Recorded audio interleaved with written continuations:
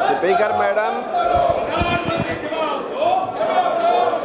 सदन का ध्यान मैं आपके माध्यम से एक बड़े ही गंभीर विषय के और दलाना चाहता हूँ। मैम, हमारे देश को आज़ाद हुए अड़सठ वर्ष से अधिक हो चुके हैं। देश की आबादी इतनी तीव्र गति से बढ़ रही है, जिससे कुछ ही वर्षों में हम चीन से अधिकतम जनसंख्या वाले देश, वाला देश बन गए हैं।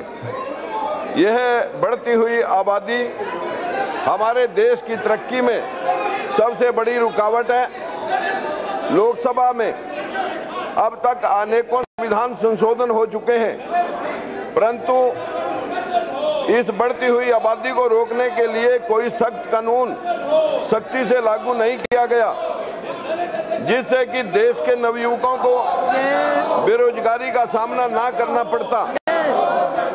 कुछ लोग योजनाबद्ध तरीके से देश के, देश की आबादी बढ़ा रहे हैं। अतः मेरा इस सदन के माध्यम से आपसे अनुरोध है कि जहाँ इतने संविधान संशोधन हो चुके हैं, वहाँ पर एक संशोधन और करके, हम दो, हमारे दो कानून बना करके संविधान में लागू किया जाए आगे बढ़ती हुई आबादी पर कंट्रोल किया जा सके। इस कानून का उल्लंघन करने वाले के कुछ अधिकार भी छीने जाए। धन्यवाद।